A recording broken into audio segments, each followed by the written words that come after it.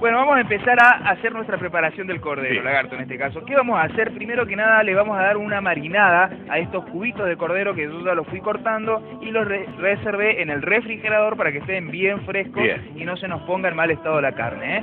Cosa fundamental. Vamos a agregar entonces algo de comino. Yo le voy a poner bastante comino porque quiero que quede bien sabrosa y en el proceso de salteado el sabor intenso del comino no es tan invasivo y da un muy buen sabor. Esto es pimienta negra que ya está molida.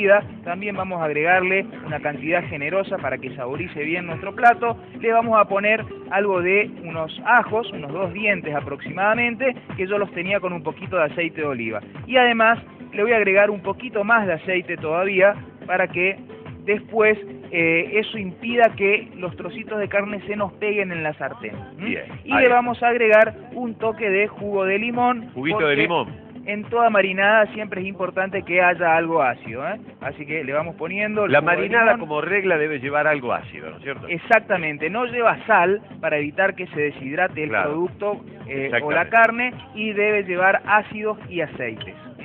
Entonces vamos mezclando para que esto vaya tomando todos los sabores de los ingredientes que acabamos de agregarle y mientras se va a ir marinando lo vamos a reservar en la heladera para que no corramos riesgo de salud al momento de ir a cocinarlo. ¿eh? Entonces yo lo Bien. dejo ahí y esto lo llevo al refrigerador A la heladera. para que vaya tomando fresco. Lo voy a poner en el freezer un ratito para que se enfríe rápido y corremos menos riesgo todavía. Bien. ¿Y ahora qué hacemos allá? Segundo paso que vamos Segundo a ir paso, haciendo. el arroz. El arroz. Vamos a prender entonces nuestra hornalla.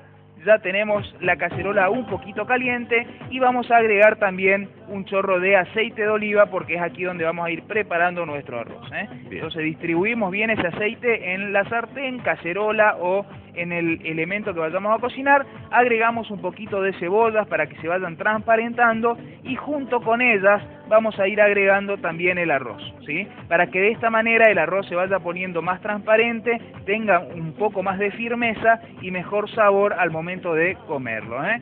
Lo ponemos entonces ahí, lo vamos a ir cocinando en este punto hasta que queden bien transparentes los granitos y recién en ese momento vamos a agregar, empezar a agregarle los líquidos. Mientras se nos va cocinando el arroz, Sí. yo voy a ir cortando los vegetales que vamos a utilizar para hacer el salteado de cordero que vamos a hacer. Bien. Que en este caso vamos a utilizar cebollas y vamos a utilizar pimiento verde. ¿Cómo vamos a cortar la cebolla? Fíjate que yo le dejé los nuditos Sí. a las cebollas. La vamos a cortar en un corte que se llama pluma o Ajá, emince. medio finito es. Es un poco finito, pero fíjate cómo quedan pegaditas las cebollas como si fuera una plumita. ¿eh? De esa manera entonces lo que hacemos es colocar el cuchillo de esta manera y llevarlo hasta el nudo para que el nudo mantenga unida las capitas de la cebolla, ¿eh? de este bulbo y ahí vamos obteniendo entonces este corte que va a quedar sabrosísimo y para los salteados es muy bueno. ¿eh? Lo cortamos de esta manera y lo vamos a reservar. Así que Ahí ese corte se llama pluma. pluma o emince. Lo reservamos Bien. acá y vamos a cortar ahora el pimiento. Mientras tanto le voy a pegar una movidita a nuestro arroz. Al ¿eh?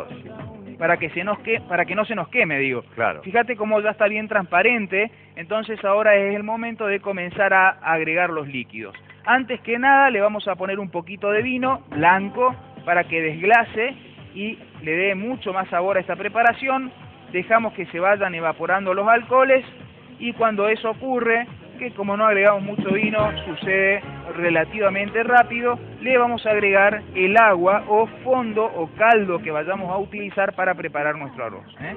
Ponemos Caldito. aproximadamente que supere en un dedo a la cantidad de arroz que agregamos y de esa manera nos vamos a asegurar que va a haber una, una buena cantidad de líquido en nuestra preparación. Y nos quedaría agregar la sal y la pimienta, pero lo voy a hacer más avanzada la cocción. Algunos granos de choclo y me reservé otros para la presentación del plato. Entonces Bien. esto lo dejamos ahí que rompa el borde se hace solo tranquilo. que se haga solo tranquilo. Y nos quedaría terminar de cortar el pimiento verde, que lo vamos a hacer en un corte que se llama tameros. Vamos a tratar de sacar un poco de la nervadura que nos quedó. Un poco más. Que son como rombos. ¿sí? Entonces, lo que hacemos es cortarlos de esta manera, mira.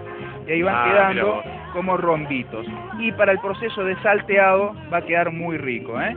Entonces lo cortamos así y ya tenemos entonces cortado nuestros vegetales y el cordero listo. Es fundamental que cuando vayamos a saltear algo en la sartén tengamos todos los ingredientes listos Claro. para ir largándolos en la sartén directamente y no estar cortando en el momento de saltearlo. ¿sí? ¿Cómo es que se llama cuando uno prepara toda la misa? La mise en place. Mise en place. Exactamente, mise en place. Bien, es tener ¿eh? todo listo para cocinar, quiere decir. Nada más que eso.